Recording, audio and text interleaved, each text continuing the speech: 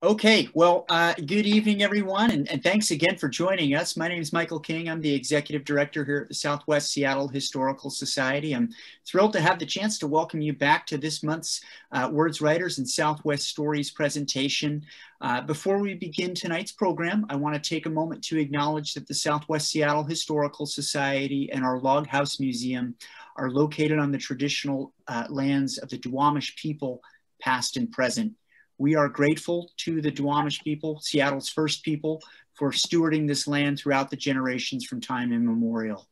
Uh, here at the Historical Society, we're really excited about this evening's program and, and to welcome tonight's presenter, uh, Jill Wakefield, who, who will be introduced more formally momentarily. Um, the Historical Society has a, a, long collaborative relationship with South Seattle College, uh, of course, the subject of tonight's talk. So this session is especially relevant and meaningful to us, and we, we hope the same is true for you and, and that you share our excitement.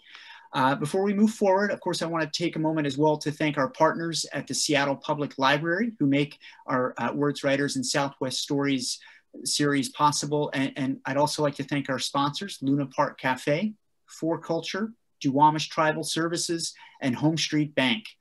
Uh, again, their generosity makes our free programming possible. So uh, thanks again to them.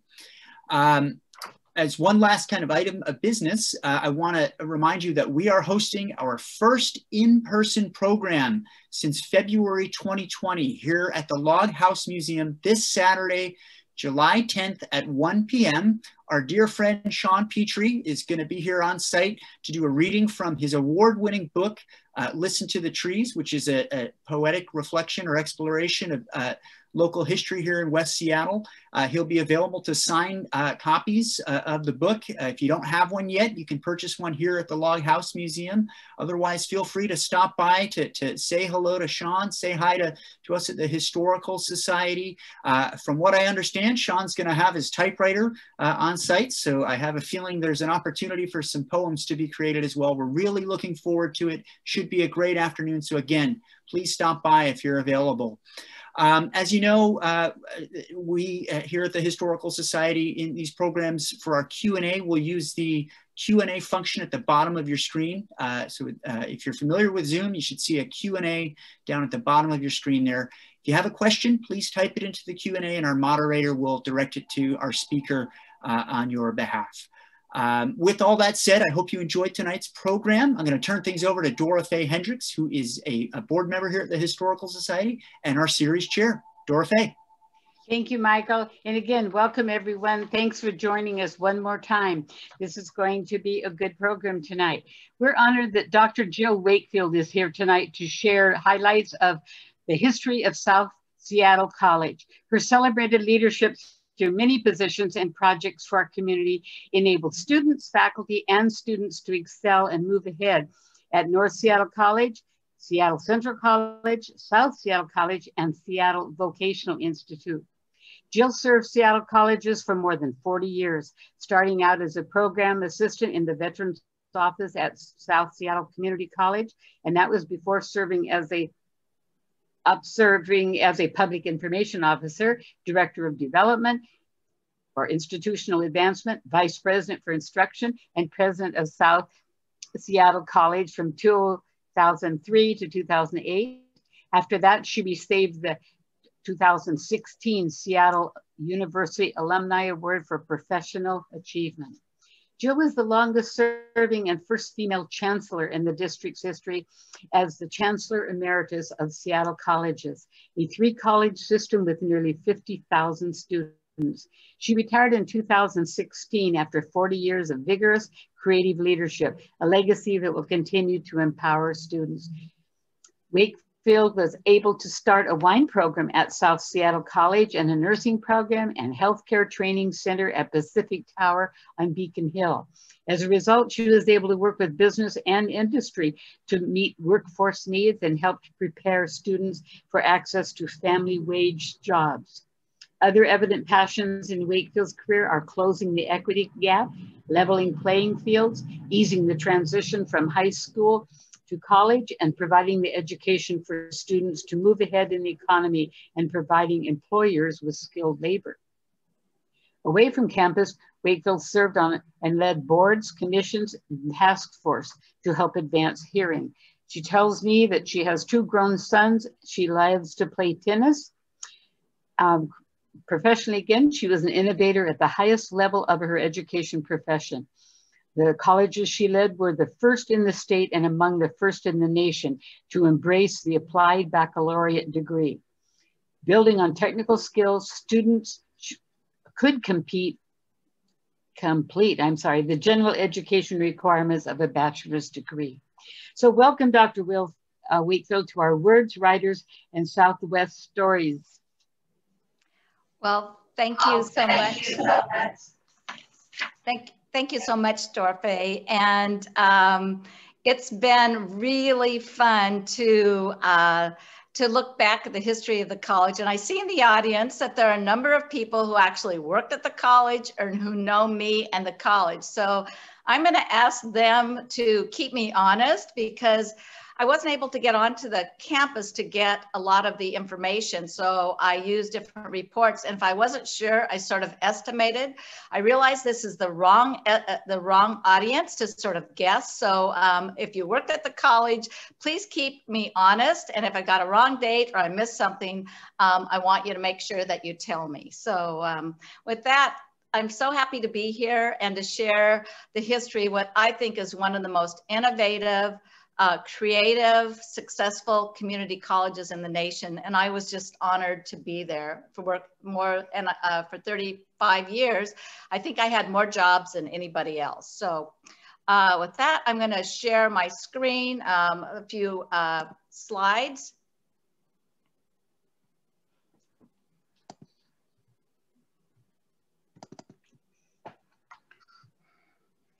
So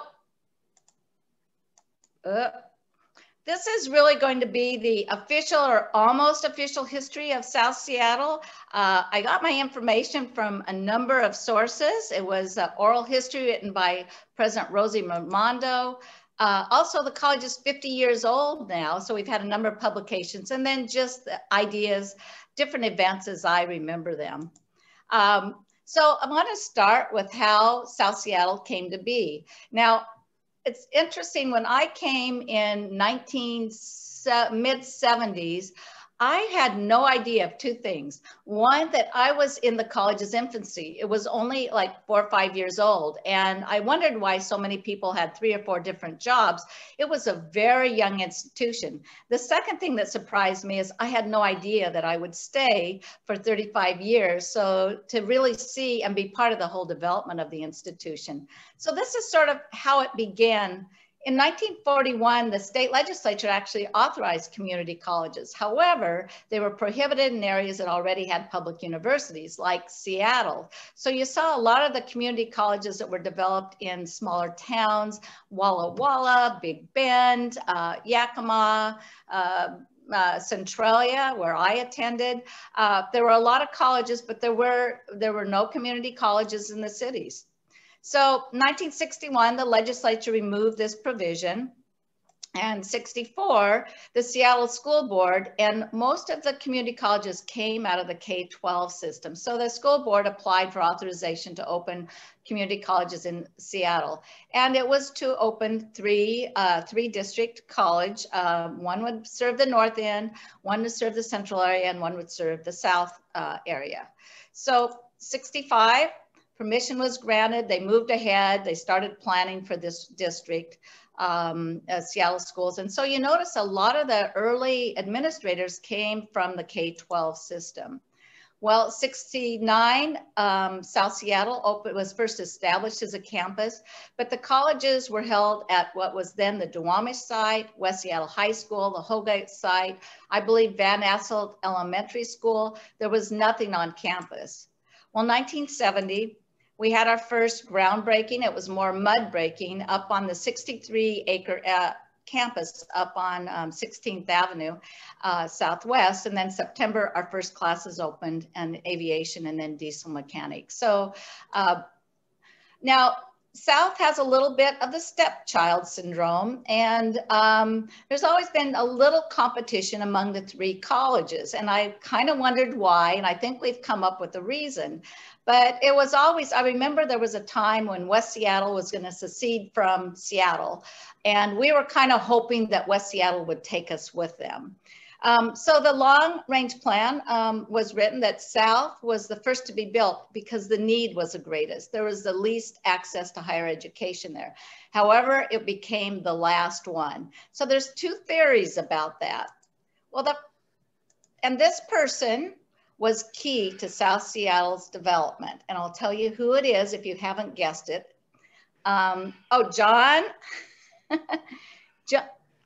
John, Inger, do you have a comment? Can't. I can't see. Dora Faye, John Inger raised his hand. I know, but I can't. He has to write it in the chat room or the question okay. and answer, please. Okay. Yeah. Okay. Well, while you're writing that, I'm going to go to the next one. Um, so here's the truth about how South Seattle was built. Well, here's a thought. Was it a sibling rivalry, but that the Central and North Campus officials just put more pressure on the school board? So they were uh, so vocal that they basically took our money um, and they built North and Central first. And Dorothy, just stop me whenever you get the question.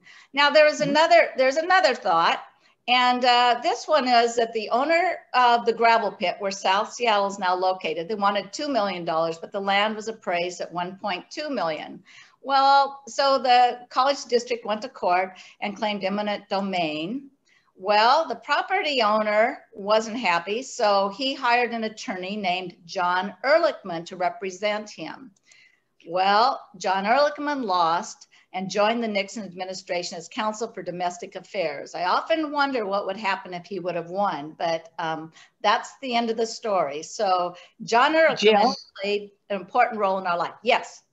Excuse me, uh, James Will, that's not who you were looking for an answer from, but the answer suggested was Haldeman or Ehrlichman. Ehrlichman wins. So yes. if I had prizes, uh, free tuition, you'd win. so that's our story. We love we love our John Ehrlichman story. So that kind of tells you the history and why why we were the third one. Now there was not a controversy about where the college was located, but there was also a lot of controversy about the name. Um, and that controversy, of those that are on the call from South will know that controversy has still not ended 50 years later.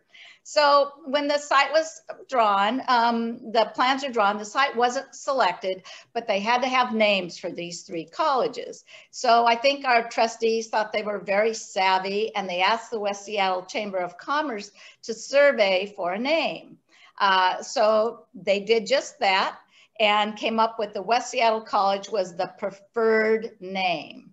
Um, well, out of the 36 names submitted, none was South Seattle Community College. So this little editorial is from, I'm pretty sure, the West Seattle Herald, something about a slap in the face, and it also makes comments about the uh, uh, ridiculousness of the Board of Trustees. Now, today I had lunch with um, Cleo Corcoran, who's a widow of George Corcoran, who's our first president, and her view was that the reason they didn't select West Seattle College was they were really worried about the power of the West Seattle community. So this was a deliberate move to take away the power from the West Seattle. So who knows, but it hasn't stopped now. If you've seen our class schedule, South Seattle Community College in West Seattle, there's the maps, there's where they are in West Seattle. Here we are, South Seattle in West Seattle, West Seattle.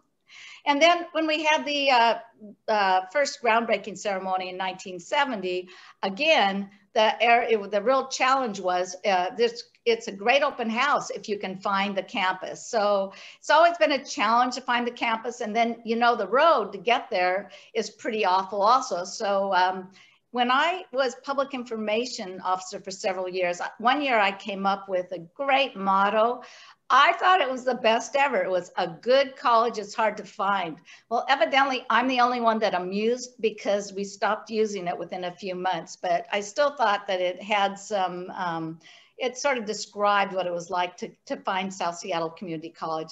Still kind of a challenge um, that, and that comes from 1970. So when I was thinking about this, uh, the history of the college, and um, I was thinking about are there some themes over the years? And I think there's a few. One is that there's always been an incredible student focus at South Seattle. Um, the faculty and staff are dedicated and totally dedicated to students wherever they are they'll go where they are and they'll take them to where the students want to go so students who come to south know that people care and know that we'll really help them get there where they're going the second is innovation uh, for some reason, South has always been known for innovation. It may be the technical programs, it may be just there was this whole attitude, and I think it goes from Jerry Brockey. Our attitude was, let's just do it. So we really didn't, we weren't big on planning. And so I know we could start a program in about 30 days. Um, but we, if we saw an opportunity, we just did it. And so a lot of the ideas were have become innovations that have been looked at uh, across the nation actually. Partnerships, South Seattle's always been about partnerships, about the community, higher ed, higher education, business, with Boeing, with employers, um, with organizations. Uh, partnerships has really been part of the college from, from its inception. And then, um, and community connections. This was a college, when we opened the college, it was important what the community thought. And so we reached out, we've asked the community what they thought. The college was developed so that the community come up and uh, to campus and go to the floristry shop, have lunch, buy pastry, um, use one of the services, come to the Arboretum. It's always been really designed to get people here. Now I'm gonna take a risk. It's also about people and especially the people that helped found the college in the first year, in the first uh, few years, which would be the early 70s. These were some of the individuals, I know I've missed some and you'll tell me who I've missed, that I got to know when I was at the college. They were very involved in the institution and they were committed. And, and one, the Cowdens, um, where I believe, and someone will correct me, that they started the West Seattle um, uh, the Southwest Seattle Historical Society. And they also worked with the college. And so in the Smith building, there is a room that is designed, that is the property of the Southwest Seattle Historical Society. I've never been there, but it's somewhere by the music programs. So there was a strong connection to this organization and the college from the beginning. But others, um, and I talked to uh, Helen Sutton, who was my mentor and who ran a lot of things in West Seattle. Uh, she made sure that no one messed with her college. And when I was running for president, when I was a candidate for president, she called the chancellor and perhaps the board and pretty much threatened them all that if they didn't hire me, she was going to sick West Seattle on them. I'm not sure what that would have meant, but um, it felt good having her having her support. So these are some of the people at the beginning. And John Inger, you can correct me if there's some others that should have been should added to the list. Now, there are a number of South employees who've been connected also with the organization. And Judy Bentley um, who's one of our star faculty members. I think she was like our rock star. Uh, we had it. She was an author. She was an incredible English faculty member. She was a leader in the faculty. And, and I know that she's been very involved in this organization too, but I was just honored to work with her. And um, she really, I think, she really has probably made a difference as much as anybody else. And I know that there's a lot of other faculty on this group, on this call that have um, played a huge role in the development of the institution. I ran through it a little bit, but Joanne Mraz, she was our first art instructor and she's a twin sister of Diane Tice.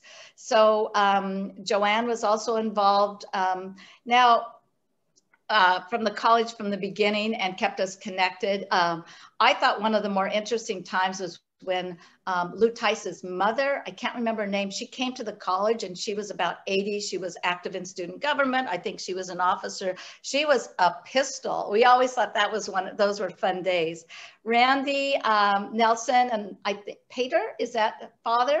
Um, Randy uh, uh, worked uh, was our one of our librarians. Also has kept all the historical records about the college. So I'm sure I've used many that of the materials that he collected. And then Joanne Stover, one of my favorite people. I I had an office close by, next door. Um, one of our first science, I think she was our first science and chemistry instructor. Um, and just, um, and th there may be others that are uh, connected, but it's just an example of how many employees uh, have been connected with the, with the community in so many ways, because that's part of who's, what South is. So um, the college in 69, going back to when the college opened, that's when we opened. And I mentioned that several locations. Uh, but our programs, and I think some of them came from Seattle Central, from Edison Tech. We had aircraft mechanics, Boeing drafting, diesel, landscape horticulture, continuing education, ESL. So we were all over the place um, that first year. Uh, then in uh, January 1970, uh, we had the groundbreaking or the, I think it was a mud pit um, and what this is the program. What kind of impresses me is look at the number of people on the Citizens Advisory Council. There were over 50, and my understanding is 130 people applied. This is a very diverse group of community leaders, members, all sorts of organizations and, organ and companies are represented. Um, and it speaks to how important uh, it was for the college to be connected to the community. So this was our, our first, um, this is when we kicked off. So this is what the design was, this is what it was gonna look like. And um, the automotive building looks like this and the aviation building looks like that. And the cafeteria kind of looks like this. I kind of think that after this, they threw this away because I've never seen any of these buildings. Uh, there is nothing that looks like that now, but it was a good vision. And, um, you know, it looked kind of cool. It just didn't happen. So here are the colleges in 2019. Um, I think it's become a really beautiful campus and it's becoming even prettier now. We realized that for the, the, whole history of the college, it was very internally looking. And so the last building, which I think is the Cascade, um, uh, sorry here, the Cascade, oh, a second here. Uh, Cascade Court, the Cascade actually, it looks at 16th. It invites people in. It's sort of one of the first buildings that says, come on in. And, and then it opens up some green spaces in the campus. So there's been a, as a college has developed, there's been a real focus on, on creating a really beautiful campus. And I think that uh, every building is sort of getting to that point. So that's the, so in 1970, um, the main campus opened in the fall and we had aviation and diesel mechanics classes, about 650 students. That first graduation, we had 90 people in attendance. We had 25 graduates. It was held in the automotive building. Um, and 1971 was a big year for South Seattle. That's when our academic transfer programs began. Um, we are, our at this point, we were more of a technical college. And so it was really important if we were going to be a community college that we needed to offer the academic transfer programs so that we would have transfer for those that were going on to a university, um, as well as the technical. And so it was a small program. We had five faculty.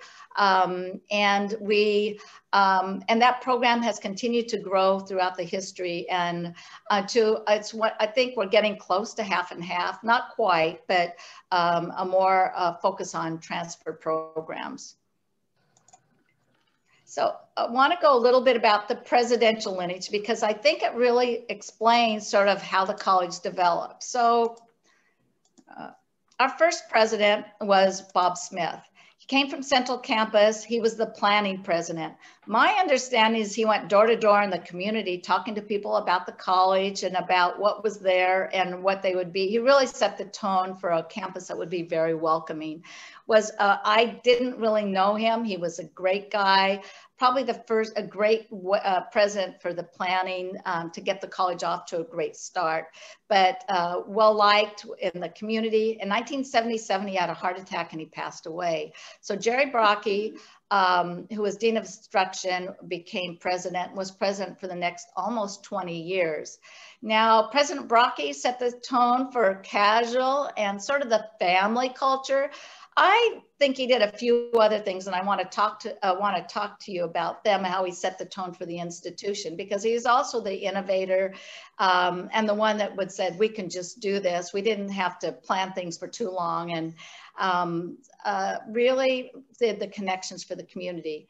Peter Koo came in uh, 95, 97 from North Seattle, uh, sort of the transition president. He was here just for two years. And then David Mitchell came from North and he, I think, established um, a reserve fund. And he also built our transfer program. Dr. Mitchell really understood transfer programs, built the transfer program. And then I was president from 2003 to 2008. Um, I had been in many, many jobs. I don't know if I couldn't hold one, but I had been uh, jobs at that point. I was vice president for instruction, but um, I had been at South my whole career. I, if I, if I, my pride points probably were partnerships, starting the nursing program, the wine program, and the development of the Georgetown campus um, down in the Georgetown area but um, I think, uh, and then um, I was asked to be the chancellor, and I think it was the first time anyone had ever been asked from South to be the chancellor. Um, and I thought that I had complained enough about the district office that I actually deserved the job.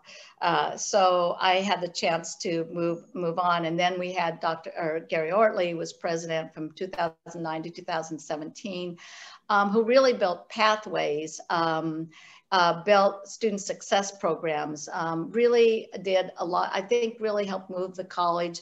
He really built the 13th year Promise Scholarship um, and was uh, connected with the community. So, uh, oh, there, there we are.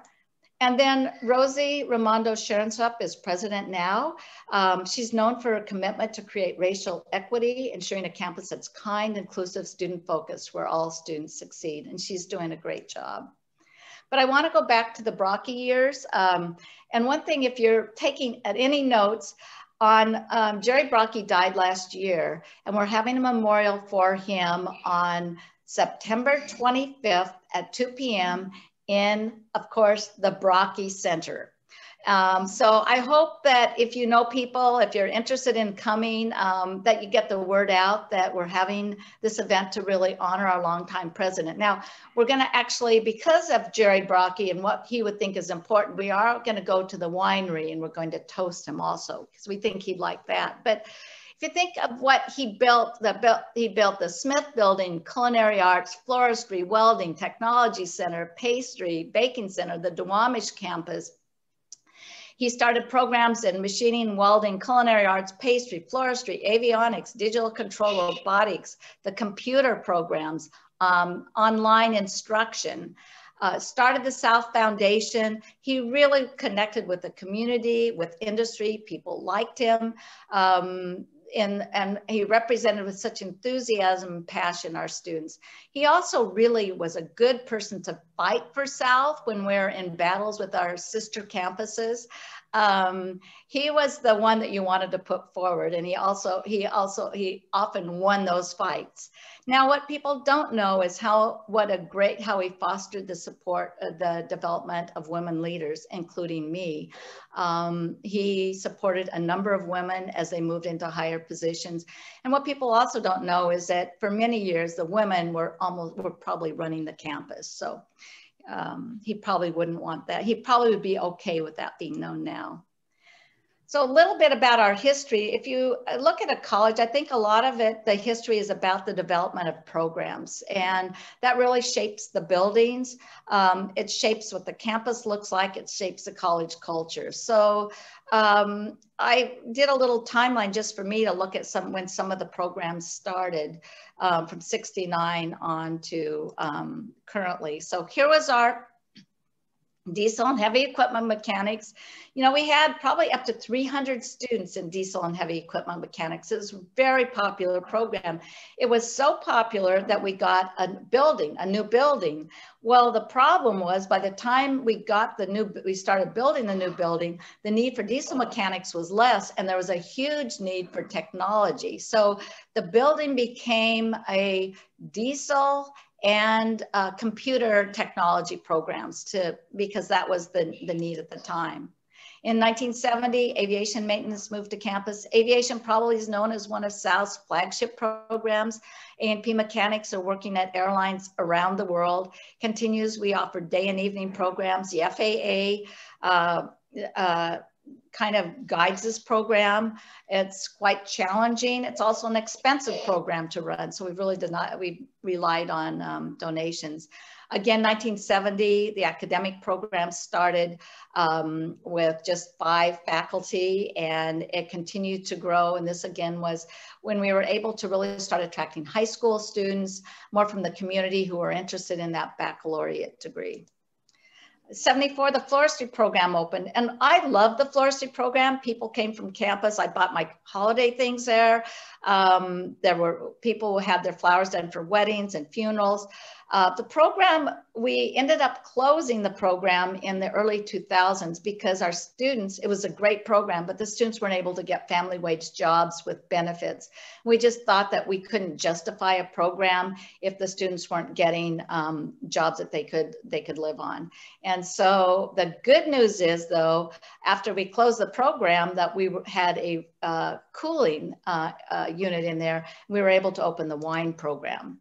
Now, I found this, uh, and this was our class schedule for academic programs in 1973. Um, uh, there are not many, it was in the schedule. And then our Dean of Student Services was also a um, graphics designer. And this kind of shows you how things have changed. It looks like there's a guy with a gun and maybe a purse or a tool belt. And it says, don't rob yourself of the chance to learn more. Um, so I think have changed quite a bit and probably in terms of artwork, much for the better. But our class schedule, this shows how, how um, it was quite condensed. Well, the culinary programs opened in 1975, again to become, they became one of our flagship programs. Um, we also had the pastry and special, specialty baking. And we set it up so that anyone could come, come up and have lunch. We also had special dinners. Um, and we had a huge holiday dinner to come up and the president had i think he was like roasting chestnuts and he'd welcome people. We'd get hundreds of people from the community to come up and have their holiday dinner there. And then they would buy their pastries and pies from the pastry shop. So it was the program was a great uh, was uh, not only enhanced our reputation but got a lot of people to campus uh, here's more construction, the mid 70s when we were putting together the culinary building. There's the Smith building. Um, it's pretty. It was a it was construction central the 70s. So 1978, the Arboretum was established, and that was a student. The students went to the board and said, "We want an outdoor classroom," and so the board approved a 5.5 acre um, uh, arboretum on the north end of campus. Um, the students been, uh, it's been their laboratory. It's been developed with uh, the college support, community support, the South Seattle Community College Foundation support over the last decades.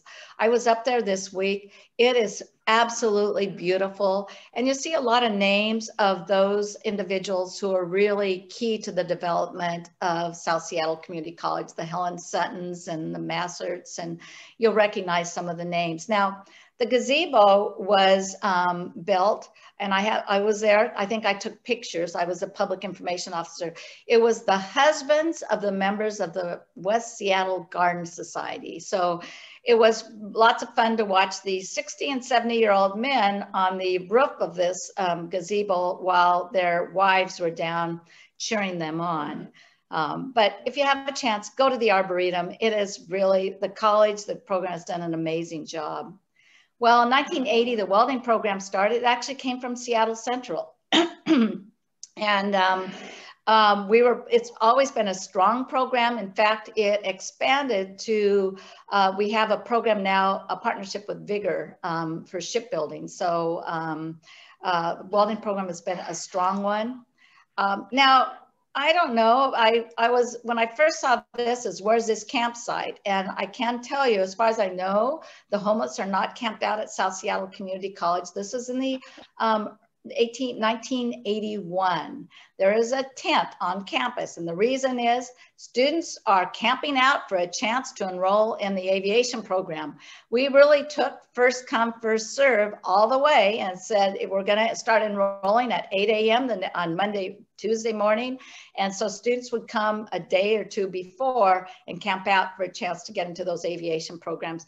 Um, it made great headlines and news stories, but we ended up, we quit doing it after a few years. And I think that was a smart thing. Um, camping on our campus is not really, we really aren't a campground. So now in 1984 was kind of a big deal for South because we made the big leap into the high tech world and we purchased six Hewlett Packard 150 computers.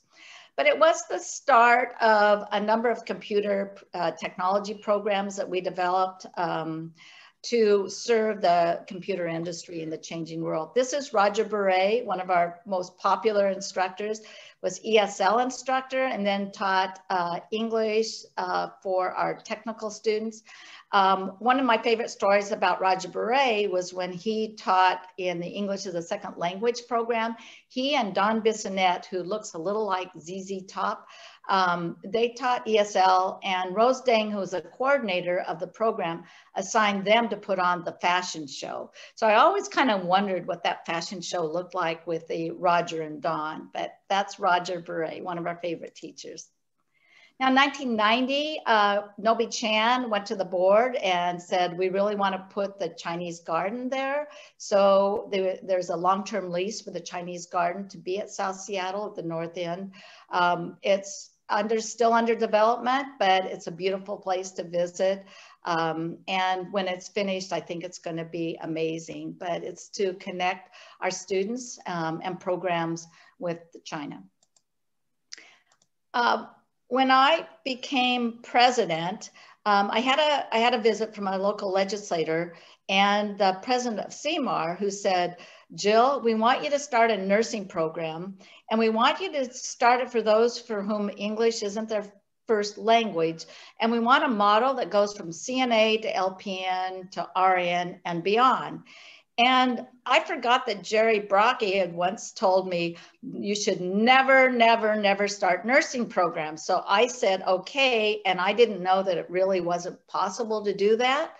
But we were able to do it anyway. It was tough, but we started a program which was the CNA and uh, to move to LPN. And what we learned in that program, quite by mistake, was we had in the CNA program, very few of the students spoke English. So we decided that we would go ahead and put the, the CNA instructor, the nursing assistant instructor, and the ESL instructor in the classroom, two instructors, and see if we could get them through.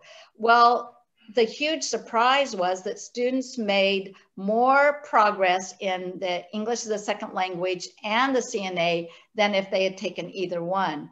And that program was expanded throughout the state and is now a national model called I-BEST, which is used across the country uh, as we no long, as we start moving students into programs um, before they have um, uh, high level of English. We found that we can learn, uh, they can learn, um, they can learn both and they can learn better. And so um, quite by accident, we developed a national model.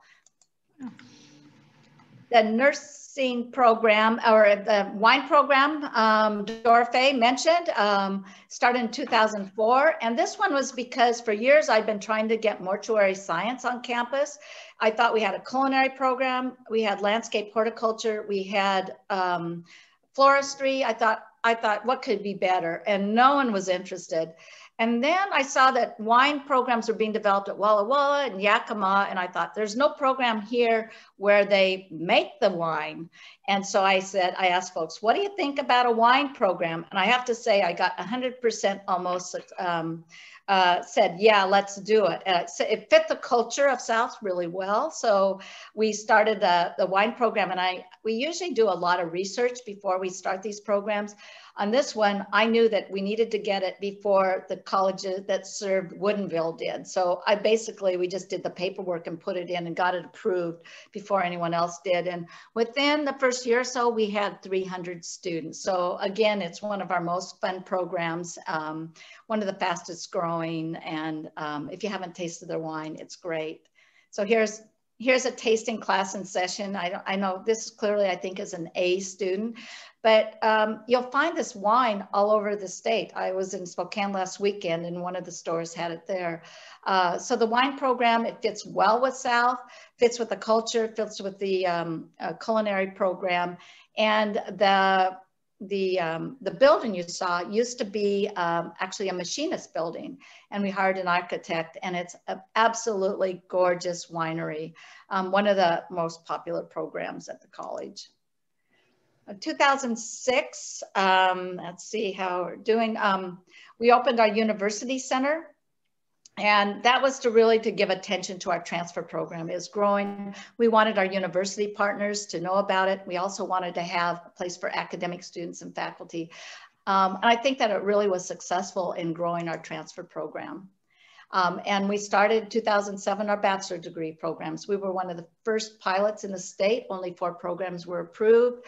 Um, South was approved. And um, now there's a bachelor, applied baccalaureate degree in prob I think almost every college. or somewhere between 50 and 75 uh, baccalaureate degrees. They work well for people that are place bound and for our technical students um, and for our students of color. They've, um, they've been very successful in helping people get family wage jobs.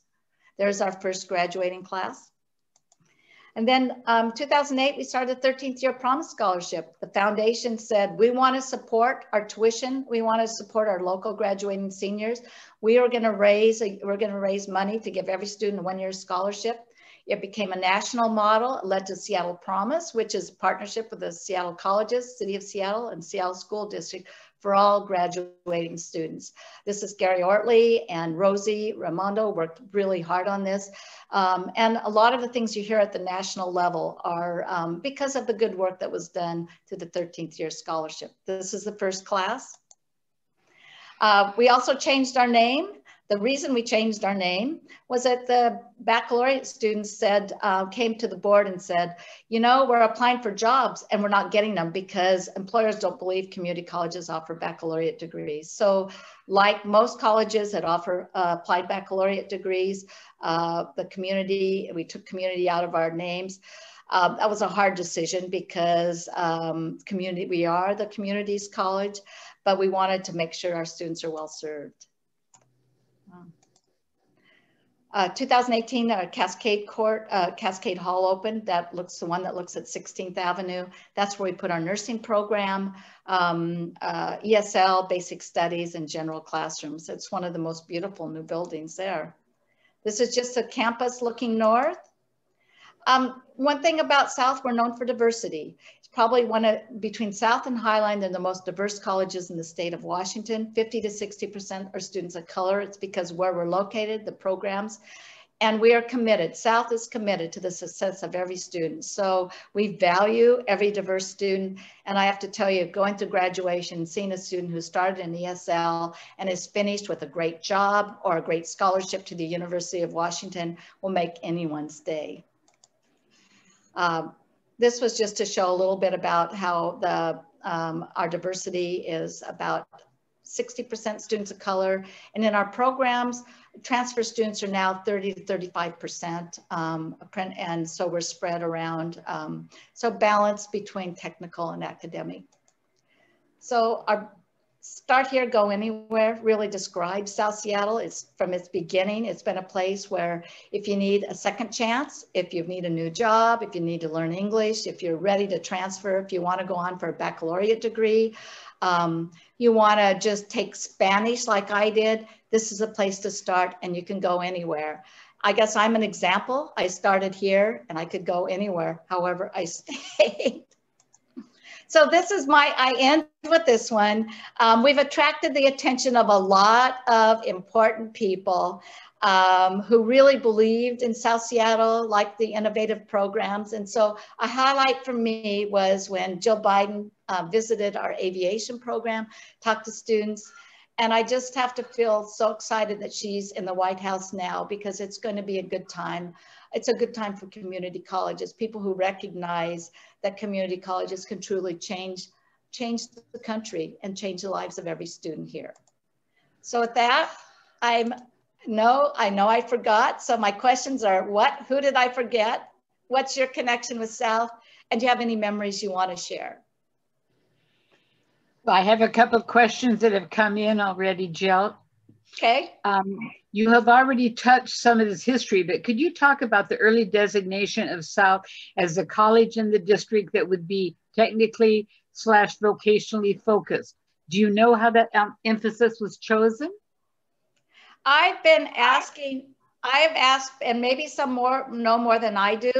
I think that in the beginning it was because of the programs. A lot of them came from um, from the Edison Tech and I don't know how or why, but I think it was felt that South was the college that was the location of the colleges that could really uh, um, kind of could really be the focus for technical programs. But I can't find anything that says technical programs. In reality, they're all now about 50-50. So however the colleges started, or not 50-50, but they've all moved. So whatever the initial is, I'm not sure, but we've, uh, nobody was trying to keep it, keeping track of what our programs were over the years. So um, they've all moved out. North has become more technical. Um, Central has a balance of technical and academic and South does too. So I don't know what the vision was, but um, we're all much more balanced now. Good. You might be interested in that question came from Judy Bentley. a little more history here. Clay Eals yeah. See, um, is sharing some. Yeah, the Southwest Seattle Historical Society got started in 1984, some 13 years before the museum became our home. So the college was our initial home where we stored artifacts, held many meetings, and even got our mail. All of this happening with a handshake agreement between our father, fa founder, Elliot Kuden, and the college president, Jerry Brockey. You worked directly for Jerry for many years. Can you tell us more about what in his personality provided the insight to foresee the fitting connection between the Historical Society and the college? Also, tell us about his handshake. Tell me about what? His handshake. So who who's that from, Judy? no, that else? one's from Clay. Oh, Clay. Clay. Hi, Clay. Yes. Clay, yes. one of my favorite people too. Um, so I, I, I, you know, I what Jerry Brockey was a force to be reckoned with, and he had this amazing. He had an incredible handshake that you know he grabbed your hand, he looked at you. Um, he had great sayings. Uh, he had energy um, like no one else. And I think that he he had a lot of handshake partnerships uh, agreements, and he stood behind them. Um, he saw the value of of the partnerships, and that was that was just who he was. And when people were with him, they just believed him, and they just had confidence in the college. And so I mean, we had some amazing partnerships with um, employers, with Boeing, they just had real confidence um, because he had confidence. Um, and like I said, he was, um, I think he was the perfect president to build a college because he was strong minded, strong willed.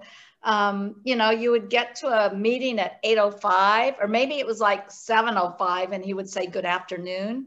Um, we, but he also had a lot of fun. So at his event, we're going to show the Uftas, where he had, I think we dressed him up like Rambo one year, or he could laugh at himself, um, and we had fun. Um, so the college really reflects him. He cared about people, um, really strong-minded, and like I said, is if you wanted someone to fight with the district, he was the one you put up front.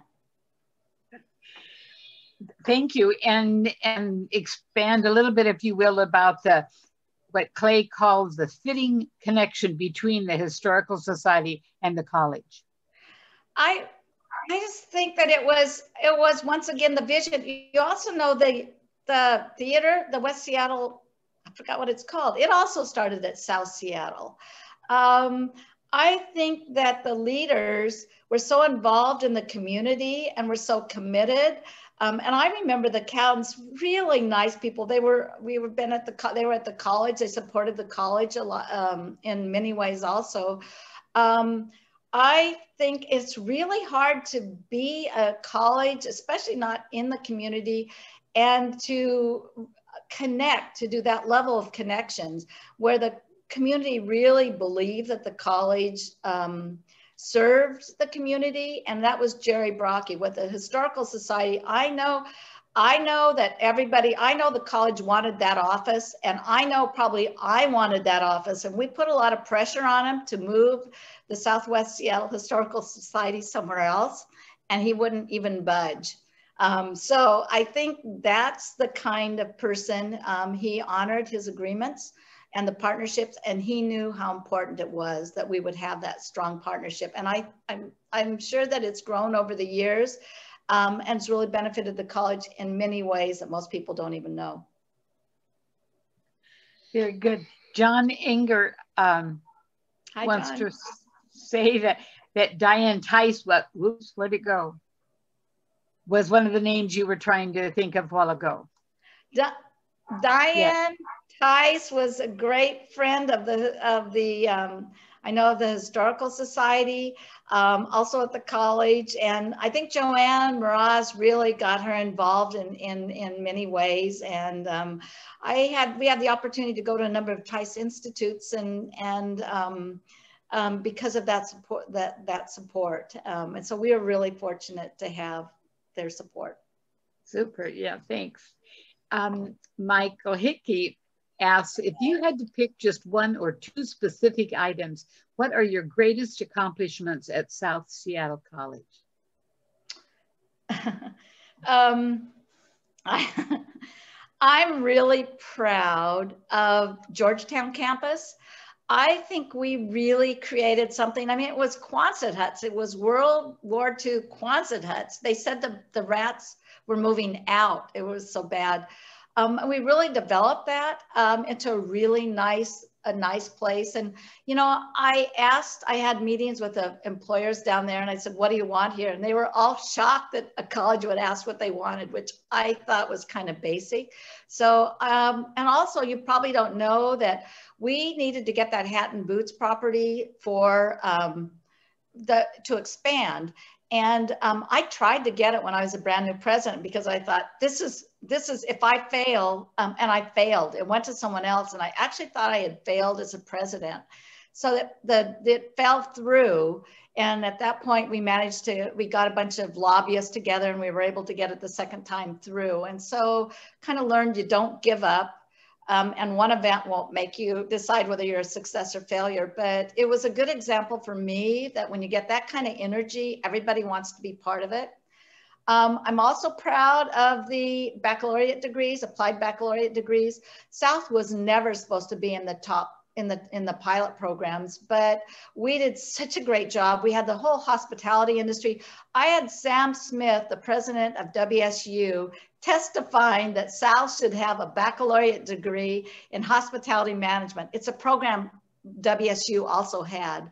Um, the hospitality industry stepped up, everybody did, and we had an amazing proposal. So um, even, it turned out one of the others wasn't that good, so we were able to get it. So I was really proud of being a pilot program there. Um, and the 13th year, I I can't. I, we I was there when we had the idea, but I think that's just been amazing to get local high school students who never thought college would be an option for them to college, and then you, the faculty who are on this call, you got them through. Um, and a lot of students weren't ready, but you got them ready. And so the faculty on on the Zoom call are some of our most incredible, but they really there's a lot of others that are just like them who said we're we take we we want to serve the students who come our way. So I think that's it, Mike, and um, and your poetry. I think that was a perfect, I mean, a wonderful answer. I'm stammering for words because messages are coming in here. But you acted a little modest at first. And Jill, we are so proud to have you here um, explaining those to us. And we're proud for you too. Um, Lorraine Tolley is Hi. asking if, uh, if you could talk more about the role of the college's foundation. What is it doing now? Also, someone she knows did an upside down degree at SSC where she used the horticulture classes for her major and then went uh, elsewhere for her uh, BA degree, taking her liberal arts classes elsewhere. Is this rare or do others do it too? Okay, Two I'll questions. start with that. Um, it's it depends on the receiving college. Some colleges, I, I'm going to guess that we had partnerships with colleges with horticulture that could pursue baccalaureate degrees. It might have been WSU, it might have been City U. So you can do that. It just depends if the college accepts the technical degree. And uh, we had a great horticulture program. So um, that does happen. In some areas it didn't. Culinary, it really wasn't happening. And so we really felt that it was better to offer the baccalaureate degree. Um, I think the option is this, there just shouldn't be ceilings that you can't um, go beyond. And so um, I'm happy that your, your, your friend was able to get a bachelor degree. A lot of people with bachelor degrees come back to the horticulture program. So that happens also. And Lorraine, what was your other, what was the first part of the question? About the college's foundation. What's it doing oh, now? Um, so I've been away from the college. It's my understanding that there is a district foundation and all three are involved. And I think we have someone here who works with it. And then the there's still the South Seattle Community College Foundation that gives out um, grants and scholarships. And, and, you know, it's my hope that someday they can come together. Um, but that's, that's something that they'll have to figure out. But um, that's what I know now. The foundation has been very supportive. You know, came out of the Citizens Advisory Council, that 50 member, and Jer uh, they, I think they had been the advisory council for maybe 15 years, and then they moved to the foundation, and Jerry Jensen was the first president of the foundation. So South Foundation has been one of the most successful in the state of Washington, um, especially with the 13th year and others. Um, in raising funds. And, and I think that um, I'm not sure what the next steps will be, but I think they'll continue um, whichever foundation to make the case that um, students deserve this, deserve and um, are deserving of the support of um, Friends of the College. That's interesting. Um, Clay has another question. It says over the years, off and on, there has been talk of the college opening an outreach office in the junction. Please tell us what you know of this and why it never happened. I know that um, I, I actually am not sure. At one point, we were going to go into an office there, and that was probably um, before I was president. And there was something about the site that didn't work, but um, you know, it still is probably a good idea. Um, you know, I, I, I think that uh, my belief is after the pandemic, um, all colleges want to be better. They don't want to go back to how they were before. I mean, they, they were, we were think doing some really great things and really um, important things. But as we come out of it, I think there's a really conversations. What can we do better? How can we better connect with our community? Um, how can we ensure the success of every student who comes in? So you know, who knows? I, I can't remember. There was a site they looked at and there was there were issues with the site. So they decided not to do it at that point. So I always wanted to do the one in Vashon and I thought I could move over there and run it. I love it. I love the combination, Jill, that you are folk that you rem remain focused on between the interests of the students, of the kids, and the community. That's what it's all about. That's probably yeah. why you've been very successful. That's very special. Very well. I was at college. Is that college? And it's not. It's because of everybody who's there. That college is a pretty special place and it always has been. And I just feel like I was pretty honored to work there. Um, and part of the reason it was so special was West Seattle, the community. Other cities, other colleges and cities just don't have that. Yeah, that's true. I have no other questions coming in right now. I wanted to share a little piece of history about the connection between the Historical Society and the college as well that you probably do know. When I first came on as a volunteer, um, trained by Clay, um, they were they had already discussed. Judy Bentley and several others and Clay had discussed this program of ours, Words Writers, and they were going to wanted to have it out at the the Wine Institute. And of course, our focus was in supporting local authors, of which Mike Hickey is one of them that I met early on too. And of course, the frustration that we found was that we couldn't sell books um, at the college and we couldn't sell wine at Barnes and Noble, the bookstore.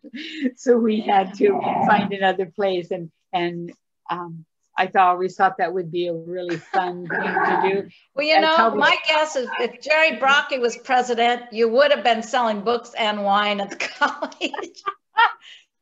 that would have been good. But that's yeah, how the that's too bad. It would have been a great partnership. Yeah. It could have been wine and writers. I love that. I love that idea. It, it is working out super too. This is our eighth year. I think we're in it now. A question from Karen Nelson. Oh, says, hi, this is Randy Nelson.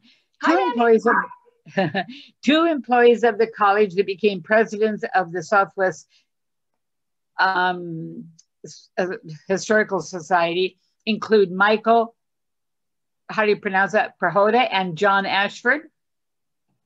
I didn't know that. Yeah, I didn't either. Don't oh, know. Oh, they're both. John was the head of the library, and Michael Prahoda was head of the floristry program. Yeah, that's exactly what Karen added. Just those two things. Oh. So, so we learned some more. I, I just learned that they were both amazing. I have greatest respect for both. Yeah. Judy um, responds with a comment that the name of Words Writers was going to be Words Writers and Wine or something like that, that we were going to include. That's how we got the W's in our logo. Wow. Maybe should try it again. yeah, I love this conversation. And um, there were several people wrote in with um, praise, Jill, for your presentation. Um, fantastic history. Thanks for all of the contributions you made during your years there. That mm. came from Steve Leahy. Oh no, you know, I just wish I was on the other side because I have so many friends in the audience. And so. Martha wanted you to know, said I think there are a few West Seattle Rotarians watching too. Oh, you are, you okay. are remembered. Well, don't forget about the Jerry Brockey Memorial Celebration of Life. We promise it's going to be September 25th at 2 p.m. in the Brockey Center. We promise it's going to be fun. Um, and we will be we something that he would be have that he would have a lot of fun because we just want to do something special for him. Super. Um, Kathy Thom says, Dr. Wakefield, you were instrumental to my growth and professional development at South Seattle College. Thank you in capital letters for believing in me as a South student and all students. We love you. Oh, thank you. Wow. And Pamela Jorgensen said, I was one of the first students. I remember slogging through the mud, smoking in the classroom. I love that. I want to talk to her, to Pamela, what it was like. Yeah. Yeah.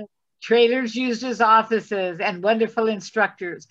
she said, I could not have afforded the expense of the university when I started at your school.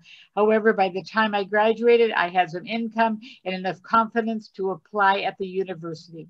A few wow. years later, mm-hmm. I graduated from the U and was a member of Phi Beta Kappa. Wow. Thank you for all you have done. Thank you. Pamela. That's amazing. Well, it was a fun evening, wasn't it? Thank you, everybody. Thank you very much. We appreciate having you. We appreciate all of the participants and your notes. That was kind of fun for me to um, monitor. And we hope you come again next Thank you. second Thursday. I'm going to come down and see your events. I'm going to become a participant. Thank you, everybody, so much. And, you know, fill in the details when I was wrong. Um, but you got the stars of South of South Seattle on this on this uh, Zoom call. Good things. I love the. I have to add, just I love the special programs you mentioned that have gone not only viral but national, and you yeah. you have every reason to be proud, and we are proud of you. Thank you. Thanks. Bye bye. Thanks Bye-bye. again. Thanks to you, Jill. Uh, we really appreciate it. What a great talk tonight, and and uh, so much history about the college, the historical society, and our community. So again, we're I just want to echo Dora Faye. We're really grateful, and, and we really appreciate it. Thank you. Have a good day. See ya. Good night, everybody. Take care, everyone. Thanks for joining us.